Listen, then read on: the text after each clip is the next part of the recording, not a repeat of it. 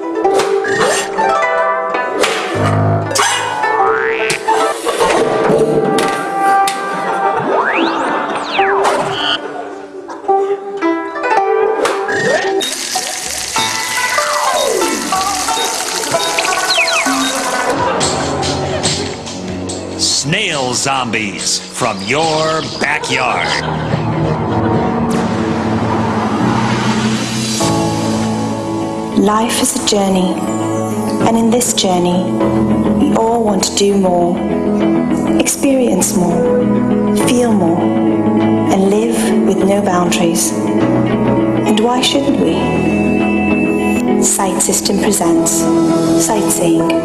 Feel free to go anywhere.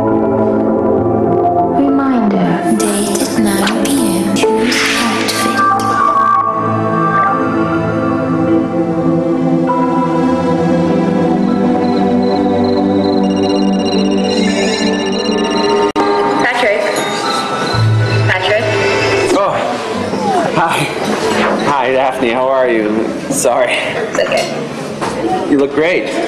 Thank you.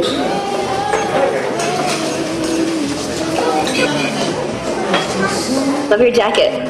Thanks. Uh, it's actually it's a it's a sports jacket, so so that, less official than it looks. What do you mean? Sorry. What's the difference between a sports jacket and a normal one? Uh, I guess a sports jacket is for people who want to look good even when they're chased by the police. Anyway, I hope you're hungry. This Yeah. place has the best burgers in town.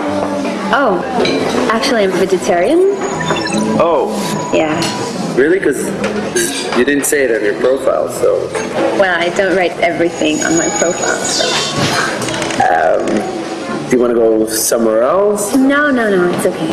I'll find something on the menu. Well, how about a glass of wine for starters? Yeah, great. So, are there any other things in your profile that you didn't write about that I should know, or are you scared of jogging by yourself in the city? Not really. Besides, I'm about to hit level 5 on Marathon Master. Pretty impressive. I know. Mm. What is scary though? On my last route, my site crashed. So scary. I didn't see anything. I couldn't find my way home. Site doesn't crash. Oh, it did. I was totally lost. I didn't see anything. That doesn't happen since our last patch. Do you work there or something? really? Yeah, uh, Wow. What do you do there? nothing serious. I'm just a simple engineer. Actually, I read about your company in the news. Is it true that you guys imprint stuff and manipulate people's sites? It's just bullshit. But anyway, I don't want to talk about work. Not when I'm here with such a pretty lady.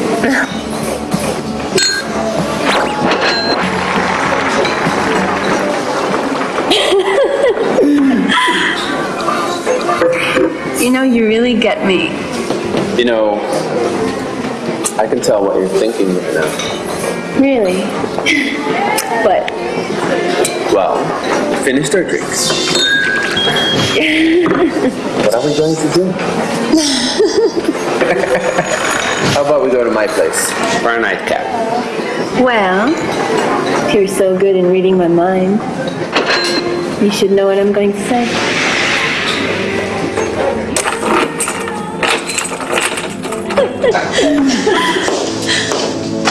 There it is. Treat yourself at home.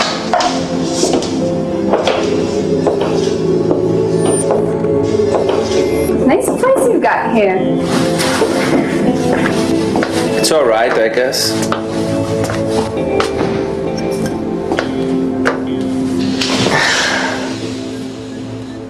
A toast for a perfect night.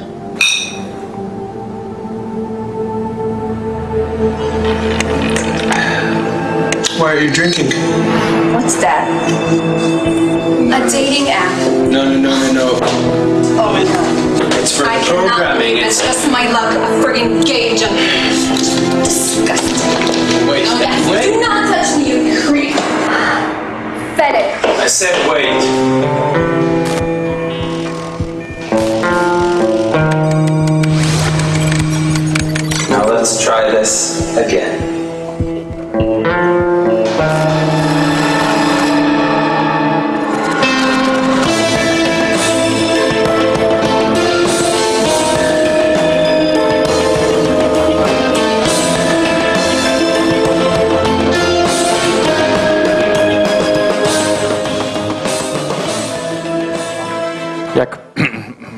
Mam nadzieję, że udało się Państwa, państwa Well, so I hope this has been a good introduction to uh, ethical, more or less serious considerations about limits or borders. Some humor at the beginning, but let us move on perhaps to our guests. I would like our guests to say a few words about themselves now, how they are involved in games. Who, who would like to start talking about uh, themselves and their games?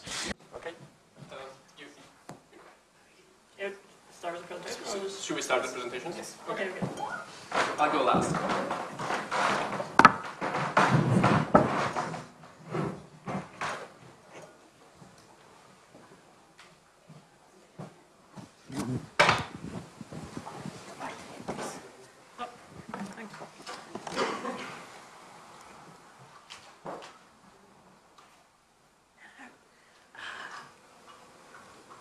Okay, I guess not. No, I was hoping I would get the, the, the Fremdenansicht, but it doesn't. Well, it doesn't to work. Okay. Yeah, but it was it was checked and it didn't do anything, so yeah, I just have to have do this. Okay. Uh, hi, nice to meet you all. Um, my name's Simone Soubusta. I'm from the University of Düsseldorf. And uh, we've been doing a project since last year at the university to turn one of our courses into a game as much as possible. It's called The Legend of Zurin. And I just want to give a short uh, presentation on what that entails. Now, first off, uh, why did we do this? Uh, personally, I consider myself a gamer. Uh, some of my colleagues are gamers too. And uh, I know in education there's a lot of people who say uh, games are bad, and then others say uh, games are good. And I think that's the wrong question to ask. I think the right question to ask is what can we learn from games in order to make our courses better? Because gamers are dedicated people, they spend a lot of time and effort on getting better at games, at learning strategy, at beating the game, and if we could get some of that motivation and dedication in our courses, then I think uh, we've done a lot of good. So uh, before I talk more about the project, I wanted to give a quick introduction to role-playing games, except if everyone already knows what role-playing games are. Anyone who uh, doesn't know what role-playing games are? Everyone knows? Because then, because I only have five minutes, so um, I'll just give you the quick, uh, yeah, I'll just you can. yeah. Okay, that was a quick introduction to role-playing games, just to review, so we all, so we all uh, on the same page. Okay, so uh, we took a second semester course uh, that our students have to do, and uh, that course consists of three parts. The first is a lecture where students uh, learn the subject matter. Then there's an online platform, which is sort of like the heart of our system, where people play a game. It's, uh, when I say play a game, I don't mean they walk through a virtual world. Unfortunately, like we're working on that for version 10 or something. Uh, right now it's still early days. So it's uh, basically a narrative framework with lots of role-playing elements um, where students solve quests. And uh, in the end, at the end of the quest, there's always exercises, so that's like the students' homework. And uh, there's also an accompanying lab uh, where we do further quests in real life. Okay, so how does this look? Uh, in the beginning, students get to choose a race. They can be elves, goblins, orcs, or humans. And uh, once that's done, they embark on a quest for the legendary Book of Knowledge, uh, which has long since been thought lost, uh, and was split in four parts. Um, there's main quests, which the students have to follow, where they have to solve the exercises in order to pass the course. And then there's optional side quests, where students can have further adventures. So basically, they'll encounter uh, an old lady at the side of the road, and she'll be like, oh, can you help me carry my courses home? Uh, and you'll be like, nah, I'd rather not. Or, yes, please. Uh, why do we have uh, main quests and side quests, besides making things more fun? Um, the side quests allow students to earn more XP, and basically they need to reach a certain amount of experience points to pass our course. And if they uh, gain further points, they gain a bonus on their final exam, uh, up to one whole mark. So people who do a lot of stuff in the game can actually get a better mark at the end of the course. Um, that's a bit what the game looks like. Um, our, yeah, your avatar levels up with you, obviously. And uh, then, as I said, there's a practical lab as well. And the important thing here is students get together in guilds. Guilds are like groups, uh, people who play uh, MMORPGs know what guilds are, of course. But basically, the difference to normal group work is one, uh, students have a personal identity with their group. They can choose a guild name, they can form their own guild uh, as whatever they would like. And uh, within the group, they can work together, but also they compete with other guilds.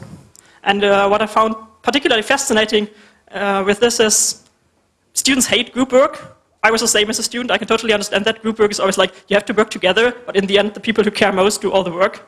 And guilds are different. And you, could, you can see that as soon as students understand that it's different, they're much more excited about it. Because for one thing, you don't have to work together. It's more like you're allowed to help each other out within the group. At the same time, you're competing with other people. Um, and I guess being able to beat other people for more points makes students excited. Being able to identify with their group makes them more interested in that. And uh, I think it's, it's, fascinating how you see students' mood shift from the word group work to, you know, we're doing guild quests. Uh, here are some impressions of what our guild quests look like. Uh, they, they can be something, our guild quests may be a, short word on what they look like. There's stuff like uh, a Jeopardy quiz show or scavenger hunts. Uh, this is a photo from one of our scavenger hunts. Uh, yeah, so that's a short intro into our project. Thank you.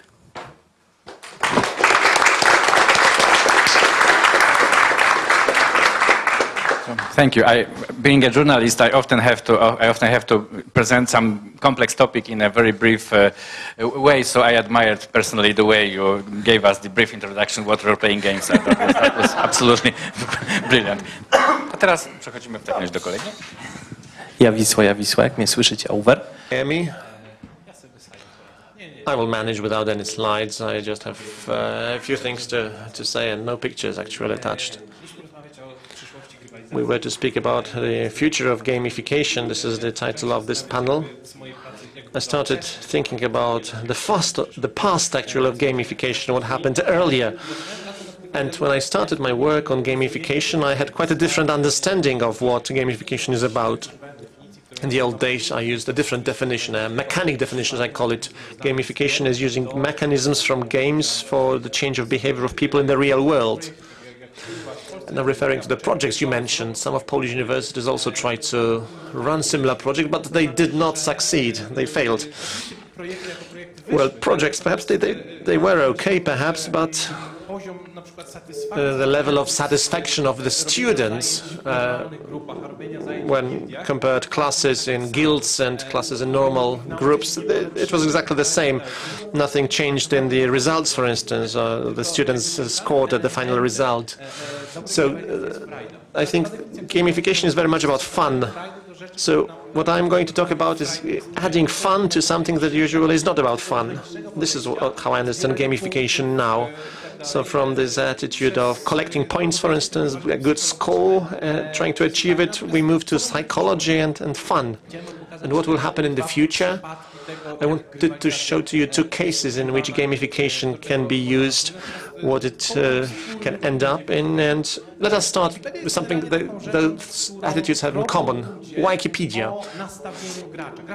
People very much interested in, in games, I think. This is such people are mainly responsible for most of the content in Wikipedia, in my view gamers are quite different from the other people, I believe. Gamers like doing things together. Gamers are convinced that uh, they will manage that somehow good solutions will be found. In 2008, Google introduced what is called Google virtual money.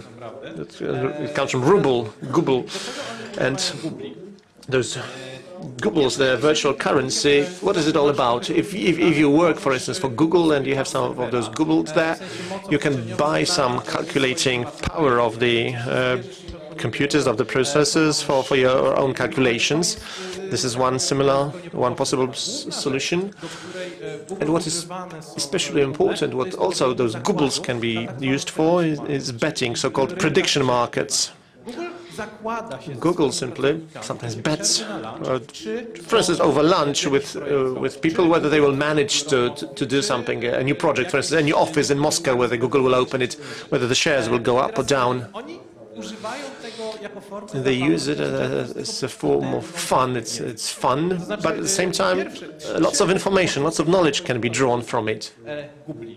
So for those Googles, the first side result is that apart from fun, the workers are much more optimistic once they uh, make a bet about a posi positive outcome of a certain event. And they're more focused on simply, very often working more, giving more to, to succeed possible psychologically interesting attitude, new motivating technique. And the second side result is just knowledge, poor knowledge, poor information. So creativity, stimulated at a low level perhaps, people doing things at, at free time, sometimes a basic, sometimes stupid idea that evolves and becomes uh, something very useful. And a third thing that they discovered those Googles, uh, they had, of course, specialists, sociologists checking how uh, or what kind of opinions are there in the company, what people think about this and how opinions are shaped. And perhaps the most important thing about shaping opinions among people is physical presence together, being present or being together with others simply. It's not about the different classes that we mentioned earlier, the social groups. It's not about belonging to a social group. It's not about friendships, but common opinions. Simply people share opinions, usually the people who stay together. So Google started moving people around company according to this type of attitude. And IBM, still another company, with gamification, they tried to solve the problem of too many emails on average that people were getting. You don't work, I guess, in big corporations. Looking at you, I don't think you've got much experience with working for big corporations. But according to some information I have, it's the average of 300 emails a day for, per, for one person in the company. Some are very important, you have to prepare something, but many of those emails are very low value, like who has left pizza in the fridge, this type of email, for instance, people get. Then I go to a meeting, and if this discussion about pizza escalates, then it's full of emails about pizza, and just uh, you can find there one or two more important emails. So what did IBM do? They decided to attach special additional value to outcoming messages. So if you send out an email to 300 people, you, you, there is no cost attached. If there were some cost related, you would think twice. So IBM introduced into their email system Sirius, so-called virtual currency, Sirius. So at the beginning, for each day, each employee gets a certain number of uh, Sirius currency. If you want to send an email, you have to attach uh, some of this currency as if post stamps. If you have a limited number, you will think twice before you actually send such emails to everyone. Teraz kilka zjawisk położę, bo znowu to jest mechanizm. So that's a mechanism, and uh, what happened? które się stały. Po pierwsze, What were the results? First of all, of course, this resulted in uh, much uh, fewer emails, fewer emails being sent. People started working together also because once you get those, this currency, you can you can use it on a given way, on, on the same way. And if you want to send, for instance, or contact uh, someone important in the company, people started collecting uh, currency together, pooling as if their resources so it's 5,000 uh, Sirius, so that this email, important email, can be sent, for instance, to the managing director or marketing uh, uh, specialists, and then they, they know exactly that if, if there was there's so much currency attached, they know that the email is serious. They also employed some some specialists to check actually what happens to this currency. And actually, there are some divisions in the company that send very often messages with uh, plenty of uh, Sirius attached. So this is something very important, saying that yes, it means yes, you have to read what is important there. And what did they do? They actually put it in one office to optimize the, the whole structure. And now if you ask me about the future of gamification, again, going back to Wikipedia, this is something unique because nobody knows everything, but everybody knows something. So the problem is to motivate people so that people actually write down what they know. So I think gamification is an excellent tool to, I think, get this knowledge from people. Very often you can find this knowledge and uh, simply get it, put it on a higher level so that it can be useful for everyone. Thank you.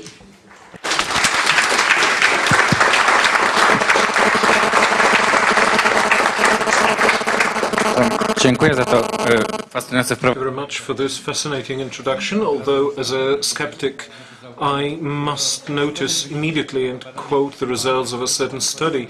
I don't know where it was made precisely in the US. I think that it was called HOTO, so this is called Hawthorne effect, a very interesting study conducted by people who were testing the optimization of a corporation and showed that every study helps to improve efficiency because when people know that they are studied, they work more efficiently. So they were testing whether it's better to work in a higher temperature, lower temperature, more light, less light, even if they returned to what there was before, everything was the same. Okay, I'm a skeptic, I must ask such a question.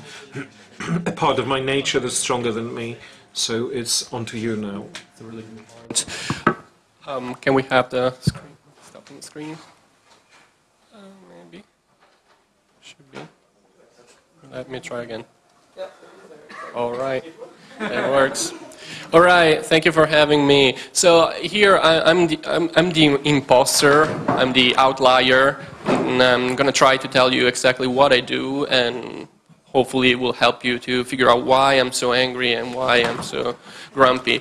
So uh, most of my work is released under, under the project name Molleindustria, that means uh, soft industry or soft factory. It's a project about ideology and uh, electronic entertainment. And the idea is to combine the traditional agit-prop social engaged communication with a, a deconstructionist uh, approach to video games. So on one hand, uh, this is about using games as a form of communication, spreading alternative messages and so on. And on the other hand, uh, it's about messing with the language of mainstream games. So trying to be a sort of remedy against the idiocy of mainstream games. So uh, I have mainly two approaches that, that I used. Um, I think one big property of games, as we said before, is the role play uh, that sort of sets them apart from uh, story-based or narrative, linear, non-interactive uh, kind of media, uh, cultural art form. Uh, so uh, you don't just identify with a character, but you get to sort of experience a certain world, a certain uh, rules system uh, uh, from another perspective. And most of mainstream games use role-playing function of escapism, and they tend to be power fantasies. Uh, um, but I think it's possible to expand the scope of role-play in a different way. That's what, what is sometimes called uh, awkward role-playing. Uh, I, I, like to go against this tendency uh, of like escapism to, and, and, essentially make games about uh, trivial everyday life things like labor or like uh, monotony and routine and, and so on. This is a a game called Everyday the Same Dream that is about this white, anonymous white collar, sort of one-dimensional man uh, going to get, getting stuck in, traffic and going to his cubicle and being stuck in this uh, essentially in this uh, daily routine until uh, supposedly some players do, some players don't. You find ways to uh, subvert and to to uh, get out of this perpetual awkward situation. Uh, this other one is uh, also some, sort of based on a, on a, on a character going to work. This is a narrative game about a day in the life of a drone pilot. Uh, so you are this guy who operates uh, unmanned aerial vehicles in Pakistan while living a suburban normal life in Las Vegas. So it employs this split screen. I can skip a little bit ahead employs this split screen uh, that to me re reflects the disconnection and the dissonance of this uh, 21st century soldier that is uh, both on the front line and both at home. So you, uh, you get some med medals, I guess that's my take on gamification.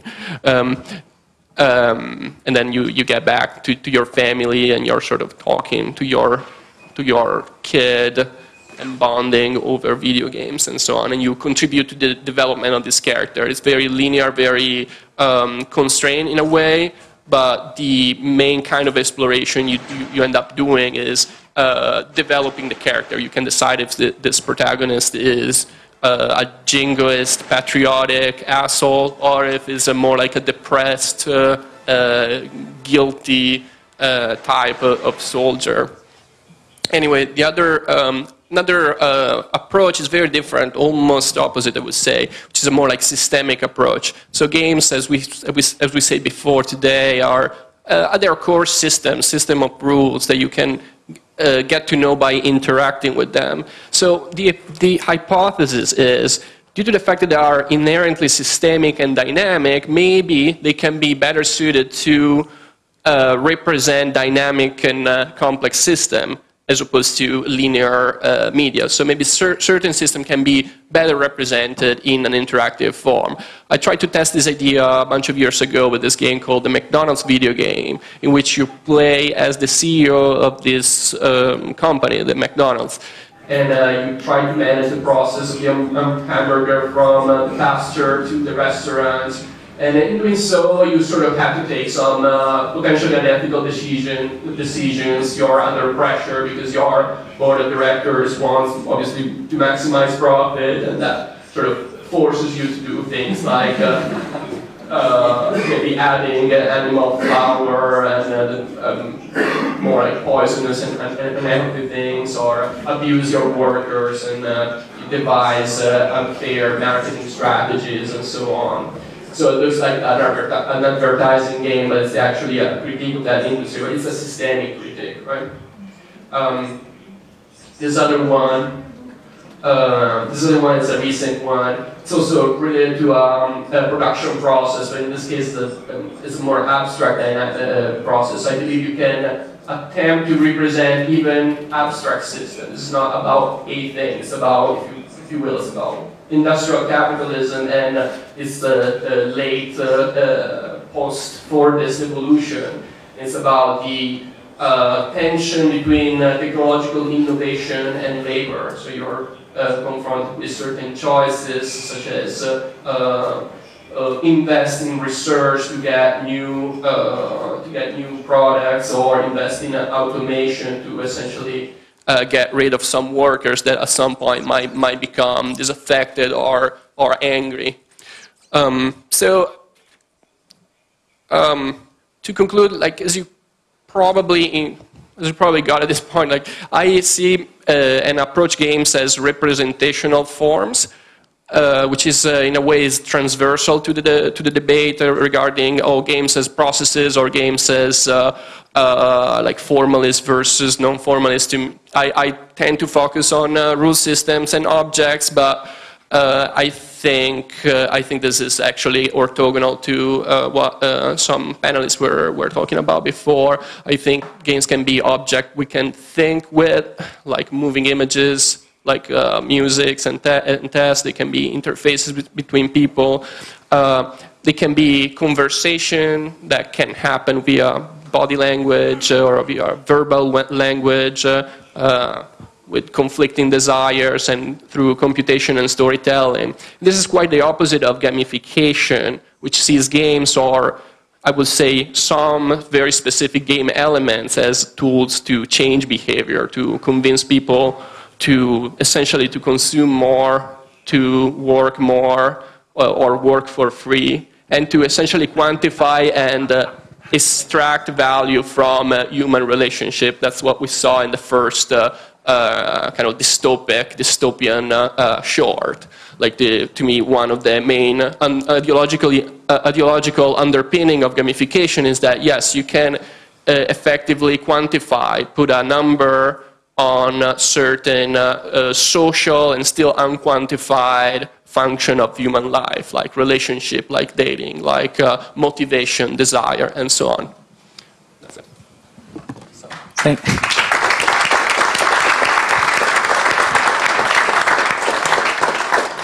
Thank you very much. Uh, I'm glad you're here, and because if you're an imposter, then I'm here as saboteur because uh, I'm skeptical about gamification, skeptical about about industry. You're even then. Ale, więc, ale już tak troszeczkę bardziej serio przechodząc a bit on a more serious note, I'd like to return to the film that we started, even with the greatest enthusiast of gamification. I believe that even in my colleague on my right-hand side, something that we see in this film, we see a border beyond which this is something that happens into horror. Where is that border? Wait. Was it to the end? No. To me, this was more or less when the guy left home.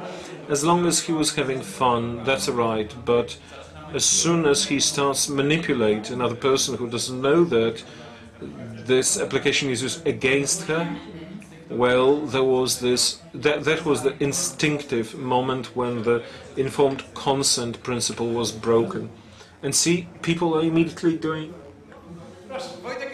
No, come on, Wojtek is here so that we oppose what he's saying. Simple.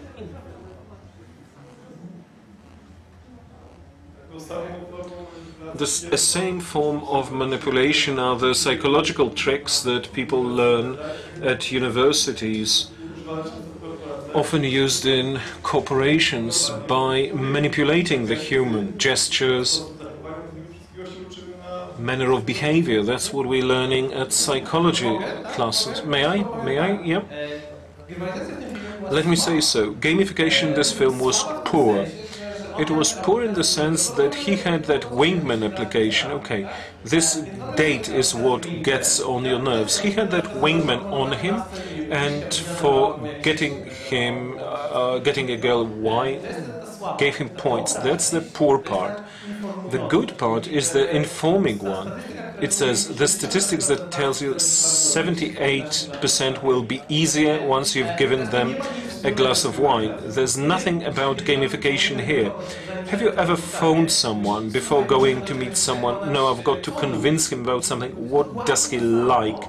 This is precisely what this machine did, but you got it from another person. We got it from an automated system. Speaking about gamification, one of my favorite application is Foursquare. When I use Foursquare, I feel like James Bond.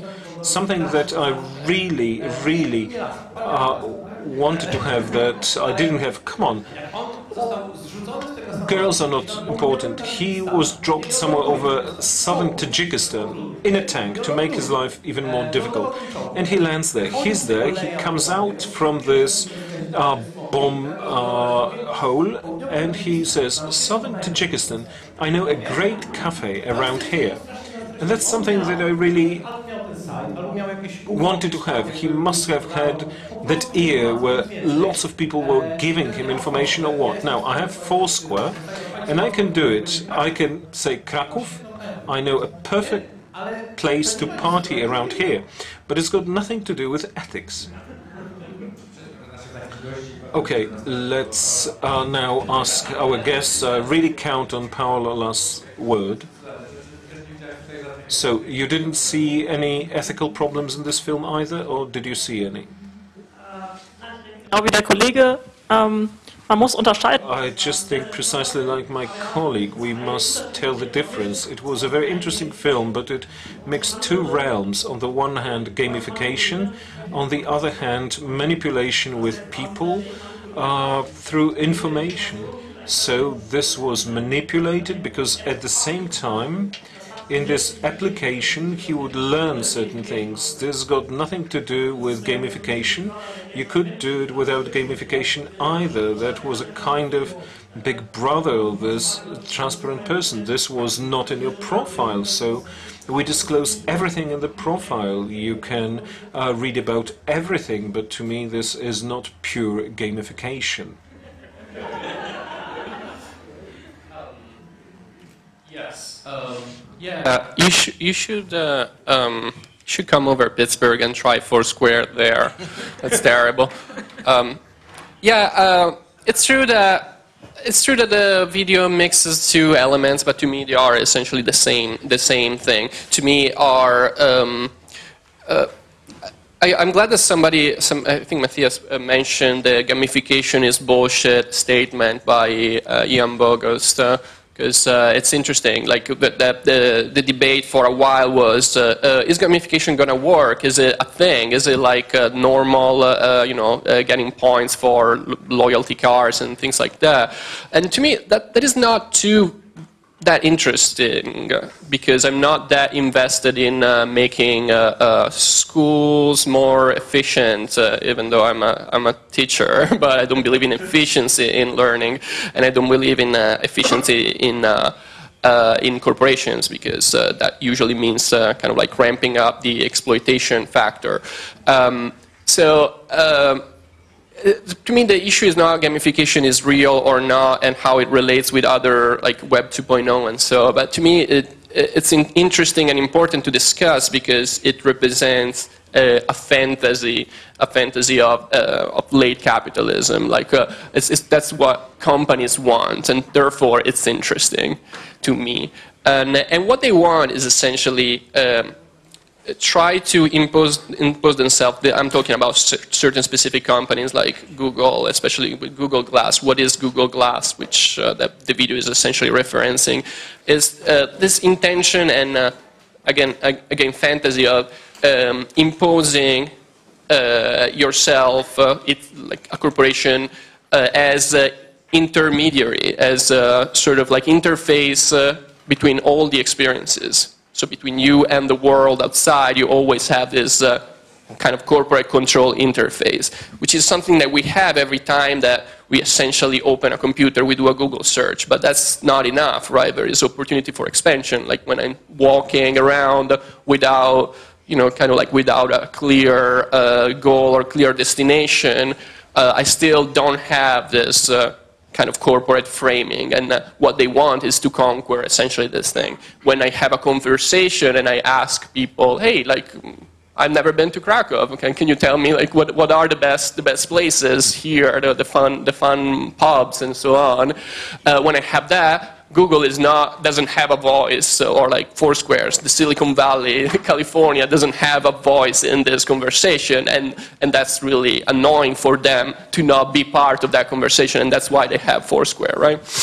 So uh, to me, it's interesting because of that and uh, problematic also because of that. So, więc ostatnie słowo mnie. Okay, the last word that was uttered here is really something that makes me enjoy it a lot. And I think that the problem is really very well pos posed by Paolo is that all those gamification interfaces uh, afford a certain artificial outlook at the world, which I really try to reject in my real life just like in this situation where I would be looking for a pub in Krakow, it's an artificial problem because the whole difference is that in Krakow it's easy to find and in Tajikistan you just can't find it or in Duisburg from the example that we got. But I still prefer the traditional methods. Ask the friends. In a corporation if we want to get to somebody I'd rather use the traditional methods of approaching to ask someone who knows someone. I always prefer a relationship between human and human than human and interface, human with points. Aren't you scared that at the end with this Foursquare, you really don't change a Kniper for yourself, you let some corporate thing decide where you're going to take your lunch, uh, sorry, dinner, it's a very important decision. If it were an important decision like who am I to wed, I would probably think, okay, so you're now defining your borders. We all do, we all have our borders. But the first thing here is that this is only an interface, it's not as much as an interface. Where do you think the information gets into Foursquare about the kneipers, about the restaurants and pubs? My friends, I can call them. I can be uh, getting on the nerves, asking them thousands of questions, or then uh, look at what they decided to make available to everyone. I'm not really keen on those interfaces. Uh, today, the interface is like that. Tomorrow, it's going to change. Now, once this relieves me from my friends, I would be really thinking about it. Now, if I get more friends thanks to it, now, your friends have been to this, this, this, and that pub, and this influences my decision. If I meet more people thanks to this, no, I can't see any threat in it.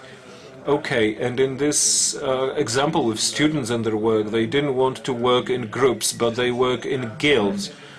Okay, now, as I said, I'm a skeptic and I will be sabotaging you. I would like to be breaking this uh, progress. I like the vision of the university, quite medieval, and I believe it must be. No, no, that's not a university. No, no, that's not a university. I like the fact that the university managed to uh, defend its autonomy against communism, and I'm very much afraid that it's going to lose it to capitalism, which wants to make it more efficient. And it should, I believe, keep this uh, uh, traditional instance, master and uh, disciple, and I'm afraid that things may kill this relationship. Eine Sache, die hier äh, irgendwie fälschlicherweise angenommen. Well, let's assume it's not about efficiency, that we did it of pure passion. We want plenty of joy and we also have feedback. You learn more, great, but this is not about efficiency. It's not just learn, learn, and learn. No, that was mostly all about doing things more interesting. Interesting for the student, to motivate them, to have something positive from it and not only work on what is an output from the point of view of a company. That was the assumption. Um, I just kind of have a critical well. Gamification.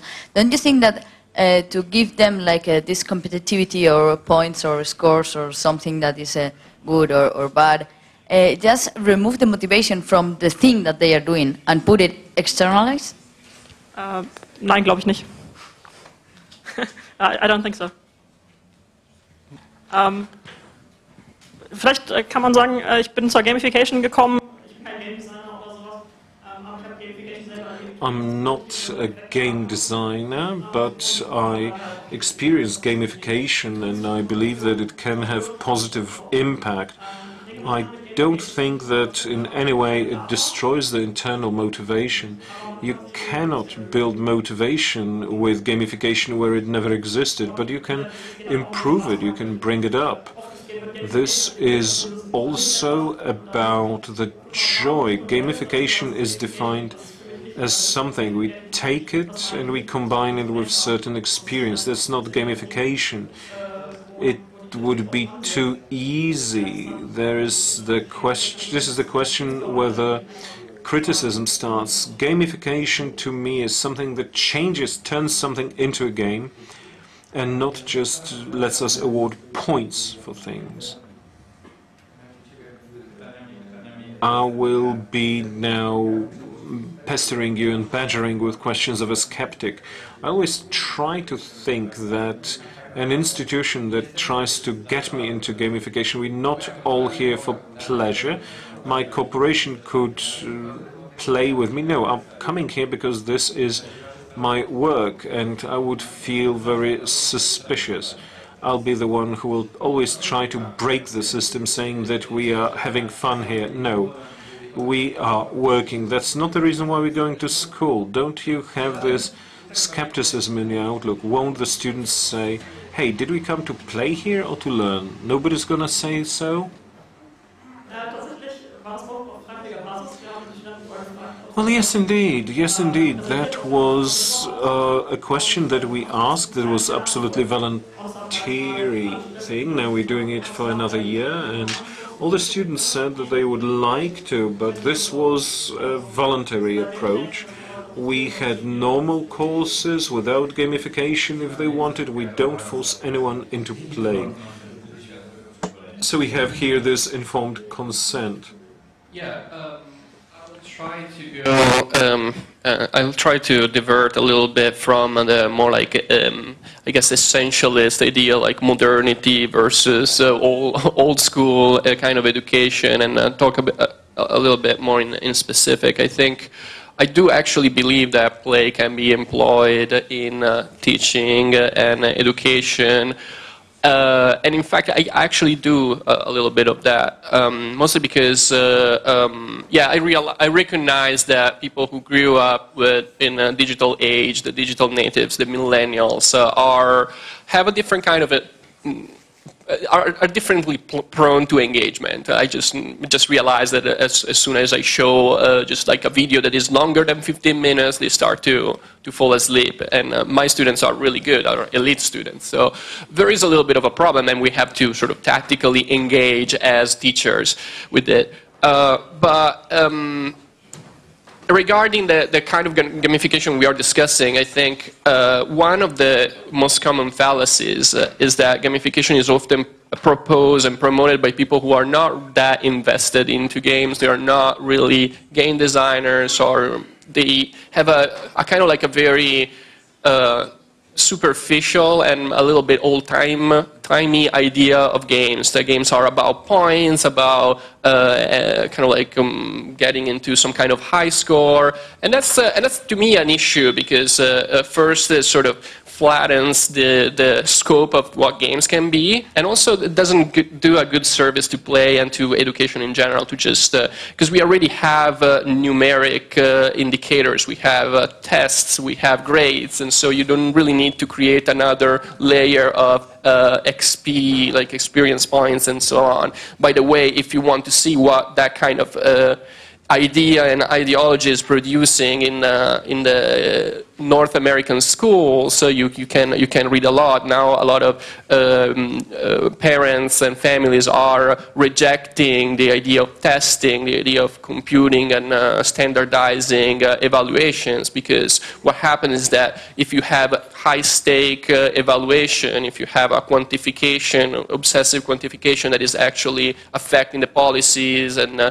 and so on, you have the school essentially become training camps for that kind of test. So that's, that's a bit of, a, of an issue. But I see other issues that are, um, uh, like the, the other issue is, for example, not all gamers are really invested into uh, leveling up, uh, looting, uh, and so on. Not even role-playing game gamers. Actually, there is a model, and there are some uh, RPG uh, experts here in the audience that can talk about uh, the different kinds of role players. Some role players are kind of power gamers and they play to win and to level up, and some others are more interested in the narrative aspect, and some other are more interested in, in the immersion.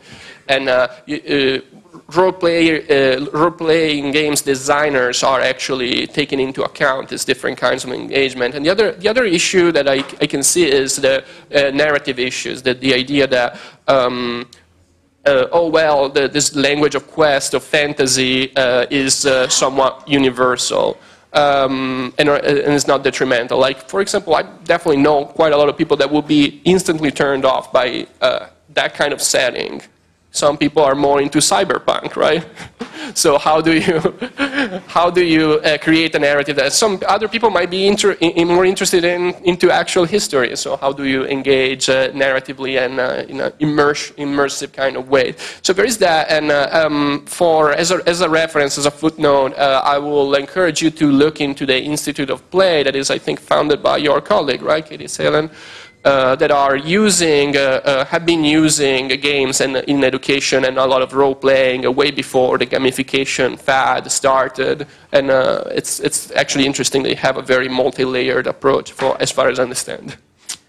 Zanim przekażemy głos, głos tutaj panu z sali, jeszcze We ask for voices from the floor. I just wanted to uh, mention, I'm very glad that Pablo mentioned it, Pablo's got no headset. Well, I'm a gamer myself. I just like playing. There's one point where I am really, I, I really detest this uh, question. Well, as a gamer, some gamers like to lose. If we buy a game and in the the first go we reach the end, we kill all the bosses. We usually feel, I believe that every gamer uh, believes that we cheated. The game was too easy. We lost several euro. The victory of a gamer is the loss of a consumer. If I win too early as a gamer, I feel cheated, just like a consumer who feels that his pocket has been really picked the price of the game. Even if a corporation gets me into a gamification experience, that would end well because I'd like to see what happens if I go the way where everything just crumbles cookie-wise. Well, uh, that's a general comment, but that's my approach to it as a gamer. Okay, a voice from the floor. That's actually. I'm just wondering, gamification, uh, in other words, using games for another purpose, not just to get some satisfaction, but to learn perhaps something to make it useful. Maybe it's going back to the very source of where games come from. Lacrosse, for instance, the American game, the original Americans game, simulation of, of battle, of the knights tournaments, for instance, in castles, or even schools today that are systems with their logics, uh, their principles of when you win or lose. It's not exactly life, but I think we're going back to the very source, the very beginning. And yet another issue, I understand gamification is about uh, introducing some fun into some other activities. I myself a scout, I am a scout and well already 100 years ago Baden-Powell had this idea to introduce some fun and this is what we certainly use every day working with young people. There are good things about it of course, but there is a threat also. Game is uh, something different from life. There are other principles and people might start using uh, the principles of the system of the game and not the rules of uh, life in the 18th century in Japan when first training equipment was used so that uh, the knives, the sharp knives not, or swords are not used. Then someone was saying that another calculation, another type of calculation will be introduced. People will start thinking that I can make an error because I will not be killed straight away, because in training, not real swords are being used. So my question here is about gamification. To what extent can we actually succeed? What can we do and what are the limits? Because it's always a simulation with slightly different rules. Yes, Pavel, perhaps these are the, the real problems, I guess, you come across as a marketing consultant there are some plays you have, just like I myself, I will explore the system, check the different options. That's what I do, and I myself, uh, I am a gamer. usually, well, I have hardly ever time for real RPG games, but with computer games, uh, I explore different options. I want to see the whole map. It's more interesting for me than uh, just going level up or uh, trying to do munchkinning, whatever it's called, collecting, obsessive collecting of points. Just like in shooting games, so once I kill all the monsters, uh, then uh, I'm very happy that that's it, and I can perhaps explore the different options, the different places, to, to see something more interesting. So, do you also come across such people, such problems when people uh, do not achieve, try to achieve realistic uh, aims, but they just want to do something else, collect points, which doesn't really matter? Well, you're a proper, typical explorer, I would say. You explore in games. According to Bartle, the, there are four main types of players, gamers. Uh, the achievers, the explorers, the socializers, and the killers, the four main categories. And there are differences to motivations, what they actually like in games. So the problem with here gamification is that it's done only for those achievers. The, the, this is the greatest number, the achievers. Just, uh, but there are others, as, as you said, and if there's nothing attractive there in the game that has been prepared, well, they will not play or they will damage it, saying that it's not for for us. But we would manage somehow. If your corporation wants to give us some work, explore options, we will manage certainly. But going back to the question, you asked what are we able to, to gamify and uh, compare it to life. In life, the problem is that there are no rules very often. If there are any rules, very little even, we can do some gamification. But life as a whole, no, it's too complex in my view. Let us remember about yet another issue games, according to one of the definitions. Game is something voluntary, as you said. Those students uh, are volunteers. They say yes, they agree. So game is something voluntary that is separated from the real world. This separation is very often a mental state. Even if I play chess, chess in a certain mental way, I draw the difference. Uh, there is a border between the chess and the surrounding world. This can be a physical place, like the football pitch where you play football. There is a line, you cross the line and you start playing football. But this can be mental also. When you are, for instance, in a traffic jam and uh, start racing, for instance, with someone standing in the line next to you, uh, in the lane next to you. He doesn't even know there is a game there, but we sometimes do it, uh, accelerating, checking who's faster. So certainly, uh, life is never 100% a game, there is usually a voluntary decision. We enter the game and we leave it. Once we do not see this border, then the metaphor, the metaphor of life, I think, will of game will no longer be, I think, present in our life. So we need what is real, real world, and what is outside the real world. I wonder this issue of different types of games, and the achievers, explorers, and so on. How does it work uh, among students? Uh, in your case, at the university, do you also see those categories, different categories of gamers? Do you see difference in which, uh, in the way what they achieve? Who's better, a better student or less? Do they focus on different issues? What do they consider especially important? Ähm, ja, auf jeden Fall gibt es verschiedene Typen. Ähm, wir versuchen aber auch natürlich verschiedene Typen. Yes, of course, there are different types here as well. We try to address different types of gamers. In gamification, I'm not saying that we are focusing on achievers only. We want to also reach other categories, other types of gamers. I said in my introduction that in our game there is some narration as well. There are some elements for explorers in the course that we organize. We try to integrate them.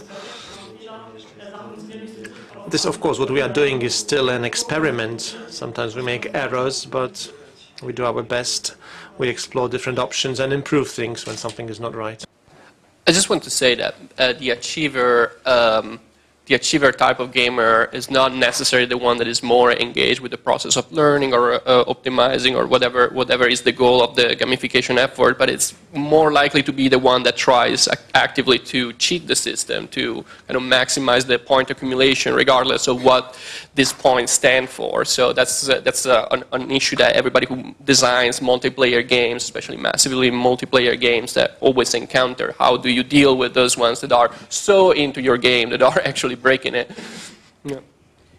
Chciałem wszystkich naszych panelistów zapytać o to, czy, czy, czy, czy I have a general question to all the panelists. The ideas on gamification, do you try to use them in your everyday life? That's what I'm wondering. I myself, because of my explorer's nature, sometimes I tried, but uh, it always ended badly. Well, sometimes in, in books about how to be better motivated, how to achieve success, uh, I read that you have to think about a certain award you can give yourself once you achieve something, but it doesn't work with me. Real life principles, there are some, and I really consider them most important. For instance, if I don't get a given number of points, my bank will say game over sooner or later, and my credit card will no longer uh, be uh, useful for me. Or if I look at the menu in the restaurant, I will also check, for instance, what it means for my cholesterol level if I eat this or that. So uh, usually I eat something healthier, unfortunately. So in my case, the, the only principles are those hard principles of everyday life that I shouldn't behave too aggressively in the traffic jam, that I, I might crash into someone uh, sooner or later or pay a fine. But so in my case, well, I, I use the principles, those hard principles of everyday life. But concretely, do you use somehow gamification useful, like the man who was cutting the cucumber, remember, in the film? Uh, do you do something like this? Oh yes, I do. It, it can help. I wouldn't try to sell with my clients anything that I have not tested with myself. If it didn't work with me, I, I would fear it would not work with others. To give you examples, in my company we had a nice game. It was about uh, getting new assignments. 100 emails, this was the, the game. Easy principles, similar to the finger games. It was about you have to, this is the only actual rule, you have to send 10 emails per day and the first person who will get a new assignment, a new contract from someone you have sent an email to is the winner. That's it. So this is for, for people who, who need simply new contracts, new clients. So they have to simply prepare those emails. They have to think about where to send their emails, what to write there, whether it makes sense at all. They do it, and then we try to, well, make it turn into a game with an award. It's much nicer if you have clear-cut rules who the winner is. And then what is the prize? It was, because we, we used to do it, we don't do it anymore, but we played it some time ago, doesn't matter why. Well, that might be interesting why you don't play it any, any longer. Well, I just don't want to... Uh, I just want to change it. We have so much work that we don't need, need we don't need new contracts. We simply have enough contracts. We don't need new clients. That's why we don't play it. You forced me to say it. But the award was the, the crown, simply the crown of the lab, we called it. I don't know why it was a lab, but a crown from Burger King. And it's not that you have to wear this crown, of course, this would have no sense, but this was a special privilege. On Friday, when we ordered pizza for the company, the person who had this crown decided what kind of pizza we order on Friday. There's a certain conflict you might not be aware of, because there are two fractions in my, in my company. The, those who eat meat and vegetarians. So if the crown goes to the hands of uh, those who eat meat, they would have a delegation of uh, veget vegetarians asking maybe for more vegetables. If the crown is in the hands of the vegetarian, those man-eating fraction, meat-eating fraction would go there and ask for some bacon, for instance, on the pizza. So this makes our job simply more interesting. This is the same thing we are doing, but I think it's really nice and more fun for everyone. Microphone, please.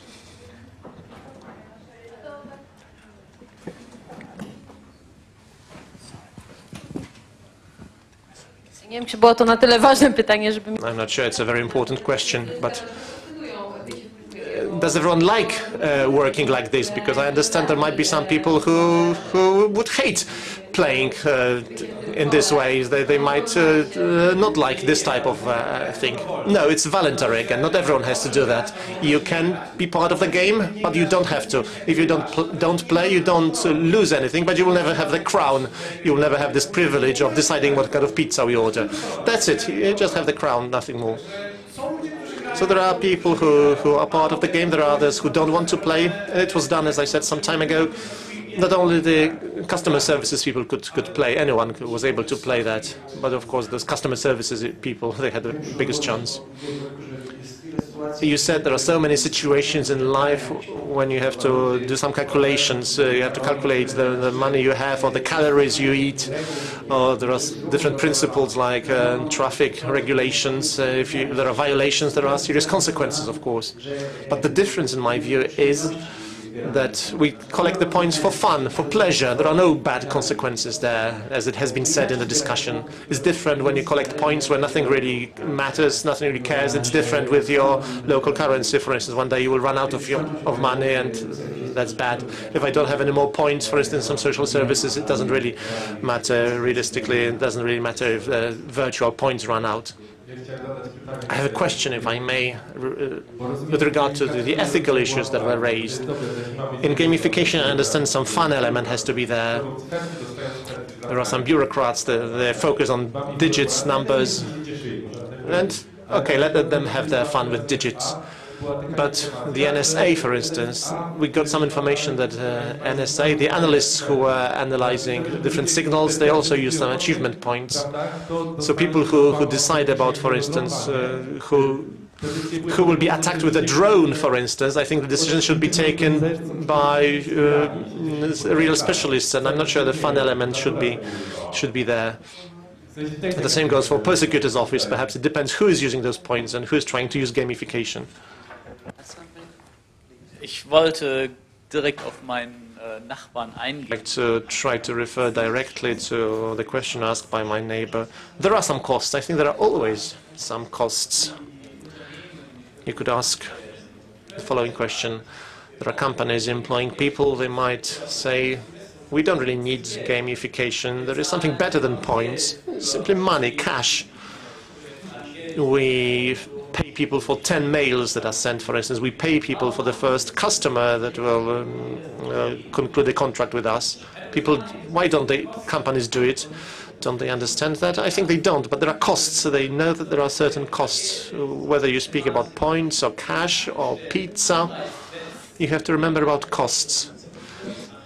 If you try to encourage workers, uh, the, workers will try to do according to, to the encouragement, whether it's points or cash. But it's not that easy, I think. The time, for instance, it takes to write 10 emails or then get one point, perhaps the time can be used better to improve, for instance, the quality of the product. Or the time can be used better, I think, for dealing with some computer problems, uh, server problems, for instance, uh, that uh, don't work properly. So I think here you need to consider other elements as well. What is also part of gamification, if we know what the optimum motivation is, usually we, we don't have full information what the optimum encouragement, optimum system is. It's like with teachers, for instance, the, the teachers usually are paid the same amount on similar positions. It's not about points that some get more, some get fewer points. Very often we don't know exactly what the needs are, for instance, at school of all the individual children. So very much depends on the end users who's going to to use the points, how they are going to act ethically or not. But what is more important, what can we do so that those who design games know how to create optimum motivation?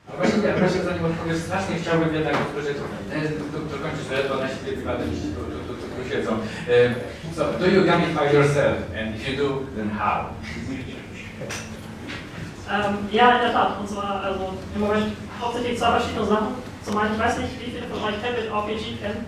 Äh, das ist im Prinzip eine Webseite, wo man äh, seine To-Do-Liste und Sachen, die man halt machen will, eintragen kann und dann äh, man kann halt einfach Punkte dafür sammeln und Geld dafür sammeln, dass man die Sachen macht und sich davon eine schöne neue Rüstung kaufen, auch natürlich nur online. Und wenn man halt was heute machen soll und es nicht gemacht hat, dann verliert man Hitpoints. Ähm, das ist eigentlich ganz simpel, aber sehr, sehr süß gemacht. Und äh, ja, man merkt halt eben schon, wenn man Lust hat, dass man Level äh, aufsteigen kann, dass man denkt, klar, vielleicht kann ich eben noch, äh, doch noch abspülen und dann in das neue Level aufsteigen. Zum anderen, äh, die Sache, die mich eigentlich zur Gamification geführt hat, äh, außer der Tatsache, dass ich gerne spiele, ähm, ist, ich lerne gerne Sprachen. Und äh, wenn man Sprachen lernt, muss man Wörter lernen, Vokabeln. Und da gibt es natürlich auch Programme für, wo man Vokabeln lernt. foreign words. There is there are different programs, software which help you learn vocabulary. And I remember someone wrote a plugin for the program I was using. You could, for instance, collect points. The more points you had, you could, for instance, get Japan, a country, and then build some constructions there. So more motivation simply. So I was sitting down learning new words, repeating the words I learned, and then you get close to getting Tokyo Tower and you can learn 30 new words to, to, to get Tokyo Tower. So I learn new words because I have this additional motivation. It's just a game, but it, it has uh, clear results. So if we use gamification for our purposes, I think it's it's not really a, a problem. As for the ethical issues, the issues you mentioned, if we use gamification for, for others when you prepare it, then certainly different ethical problems will crop up. For myself, in different contexts, I see that gamification does work. Things that I didn't find interesting make fun. I can recommend it to anyone. Yeah, I wish I could uh, come out of the closet and be like, yes, I use gamification too, like in my sex life. No, uh, for that, you know? I'm sure. Um, but no, no, I, I was thinking, I've been thinking intensely for 10 minutes, and uh, no, uh, I, that definitely doesn't happen. I have rule. I mean, I structure myself in some way, but I will hardly call it gamification. Like, I don't smoke in the morning, you know, things like that. I don't get, I don't drink more than two coffees uh, a day or something like that, or after five, but that's, that's not gamification. I think there is a, a tendency in the gamification industry, those charlatans, uh, to sort of apply this term uh, retroactively to other things, like Foursquare. I don't think Foursquare people were actually thinking in terms of games. They were thinking in terms of, yeah, maybe on incentive, but essentially probably they were just thinking about Web 2.0, really, that kind of user-generated feedback and so on. And then they maybe added some badges to for color. But yeah, but I think the question is interesting, and I would like to ask people here in the room, like how many people are involved in an actual structured uh, gamification system here? Is your hand? Yeah which is that's kind of what I expected actually. Uh, which to me brings me to the uh, big question of the panel, like the future of gamification, because to me we can also talk about the. I mean, there's no future. I mean, there's only future of gamification because there's no present really. It's like. It's like uh, virtual reality. Like, what is the future, future of, of virtual reality? Like, I don't know, we've been talking about the, the virtual reality for like 20 years, and uh, there's only kind of like an eternal, foggy, misty presence, and, uh, and that's not really happening. So it's, uh, of, of course it's happening in the sense that companies are implementing those things, and it will take a while to realize that either it's bullshit or even like or it works uh, in the same way that points and uh, other kind of rewards work. But yeah, so to me that's that raises the question. I mean, Jeszcze raz dziękuję. Mam nadzieję, że mamy chwilę na to, żeby Paweł odpowiedział. Thank you very much. Perhaps we still have a few minutes. Maybe Paweł, there was an interesting question. Why the companies that try to motivate people to send out emails, for instance, instead of uh, the stupid Burger Crown, uh, Burger King Crown, why don't they give some, something else? I'm not sure whether you had similar experiences, but when you when someone speaks to me, someone might ask me, can you write something for me? I say, no, I have no time to write a new article. And then someone will say, but we will pay you well. And then it's different. For me, it works very well. So simply you get more money. Is it only me or cannot people be paid? Why do they get those stupid crowns? I think it works for everyone. But if something can be done in the sa same way or perhaps adequately enough and everything you give those people uh, is the Burger, Burger King crown, why should we pay you additional? Why should we pay you 100 zloty additional if you are happy to do it getting Burger King crown? This is not the problem of rivalry, I think. It works for many. In photography, for instance, many people complain that there are people who work for free. It's like prepare something for your portfolio, make, take some pictures, okay?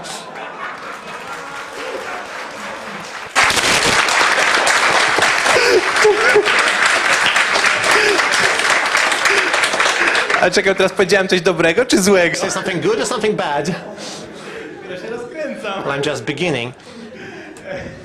Więc jest, jest to przeświadczenie na, So na people keep complaining, saying that people will take pictures for free for their portfolio. And then those on the purchasing side, why do they want to get people who will do something just for, for nothing or for a portfolio or for uh, sandwich, whatever? Because the pictures are simply good enough for them. If I get something that is good enough for me, I'm not saying it's something objectively good, but if something is good enough for me, why should I pay you 100 zloty? This is clear economy, I think, a clear business attitude. That's where gamification comes from. So leaving from, from ethics, whether you have to pay people or not, or differently, it's, it's, it's not leaving ethical things aside, but there is nothing that has to be work, and there is nothing that has to be game. That's what I say. It's like Tom Sawyer, I'm sure you've read Tom Sawyer. You, you remember his auntie told him to paint uh, the fence, and he actually asks his friends to do that, and they pay him for the privilege of painting his fence. So if if someone is happy to play a game, there is no reason I should pay him for this. Is it an answer to your question? You were the first. Uh, I, I work in a games company. And one of the things we do at work is the most gamified work in the world. We play our own games. And the, the hard part is that we all hate it most of the time. And it's often very hard to motivate our people to play the games because, because much of the game entertainment, or even most of it, comes from some novelty. We, we like to play games that we don't know completely yet. We, don't, we like to play the games where we don't have all the badges yet. We like to earn things that we haven't earned yet. So my question to the panel is that if, if we imagine for a moment that there was a current for, for, for gamification and thus there was a future to the gamification as well, how would the gamification movement solve this novelty issue? Like after five years, we all have all the badges and all the corporate games have been played, and all the students are okay again some stupid learning game LARP thing. so, so, so, yes, I'll, I'll just hand this over to the panel. Äh, ja, ich denke, man kann einfach neue Spiele entwickeln. Das ist doch eigentlich. Well, yes, that's a good point. So I think this innovation, this novelty certainly has to be there, just like in all the different ideas. Gamification should not be stagnant, should not stand in place. It has to be changing all the time. I agree. Well, uh, I, I worked in marketing for several years, and uh, I will probably be still working in marketing, guerrilla marketing, online marketing stuff, for even like big brands we were working for, MTV and stuff. And uh, um, what I simply realized is that uh, in order to, um, like, there is another, a second order kind of marketing. Before uh, selling stuff to consumers, you have to sell techniques uh, and uh, strategies to uh, producers, right? And that's, that's the role of the marketing, especially if you're not in-house marketing person. That's the role of the consultant. That's kind of what I, what I was doing as well. And uh, this, this fad, these fads generally don't last that long. They have a very quick hype cycle, and then they sometimes they get sta stabilized and they get implemented in normal normal policies. So uh, that is not a pro is not going to be a problem for uh, gamification people because when the novelty wears out, they will be on the next big bullshit. So it will be like on a, like I remember like when I started, there was like blogs, uh, like everybody should, had a should, should have a blog, and then there was Facebook, and then there were, there were, viral videos, right? But now no company is really like investing too much in, in, viral videos anymore. I mean, there are some that manage to do that, or like advert games, obviously, like that's, that's what I was doing. Advert games lasted a couple of years, and then and they were like, all right, I guess people don't like our terrible games. so like that's not a problem for like the market marketers, right? Because they were we will be forgetting about gamification in, uh, I would say, like two years. To jeszcze mamy pytanie z końca sali. Ja mam pytanie dotyczące grywalizacji w szkole. The question about uh, gamification in universities.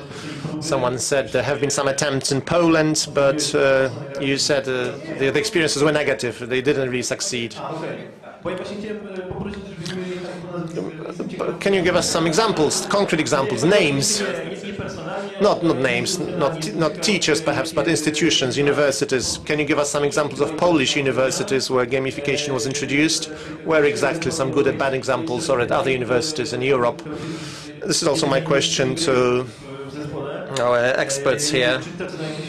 As for other panelists, do you know examples of interesting cases, gamification from European universities? Good examples, but failures as well. I would be very much interested. I'm not going to give you concrete names because, well, that, that's, that's clear.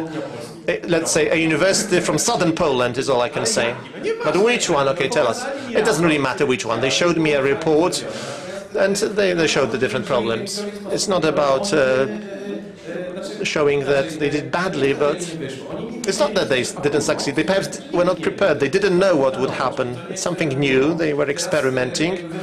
And then if, if now publicly, if we say they did some gamification as first uh, university in Poland and it was a total failure, I don't want to give names, so I cannot give you concrete names. But I've seen some reports, some comparisons, comparison of the group with gamification control group, and as for the differences in achievements, there was no, no difference in fun they had during the whole process, no difference in the end results between the gamification group and the control group, no difference even in the fun. But it has been done somewhere. At Opole University, we had a great project. What? What happened? What? Are you saying that this was a, an, you give us a name of Poly University because this was your project? No, no, I'm just saying it because uh, this was a, a good case and I don't want to quote names of those who didn't succeed. And it was not my project, they did it on their own. What was the idea? It was about motivating students to write better essays. And still referring to the discussion we had whether we pay, uh, what we pay for, whether in you mentioned NSA and persecutors. No, gamification cannot motivate people to do complicated things, to take complicated moral decisions, for instance. No, gamification is, uh, cannot solve problems there. Right, I'm myself perhaps able to to force you to press a button more often, for instance. So very primitive actions with gamification. But as for complicated moral positions, no, certainly not, no change can occur here. So the Opole University wanted to motivate students to write better essays, going back to the example.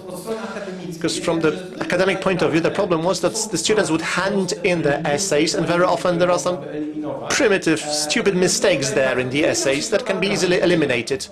Sometimes so- someone wrote an essay and didn't prove it later, didn't correct some basic spelling errors, for instance.